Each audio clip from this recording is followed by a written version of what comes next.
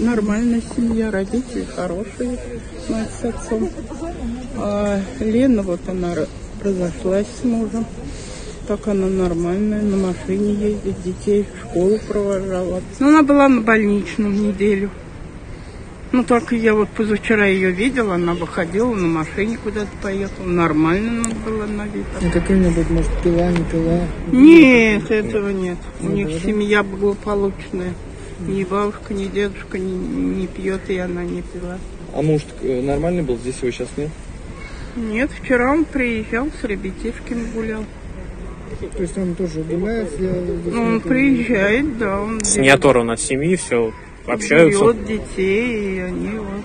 Так оно нормальное было. Я не знаю, что случилось. Ну, с головой что случилось. Я нормальный образ жизни вела, не пьющая.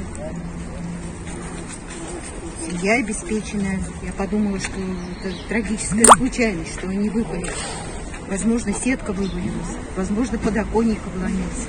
Когда девочку возили, они были живы.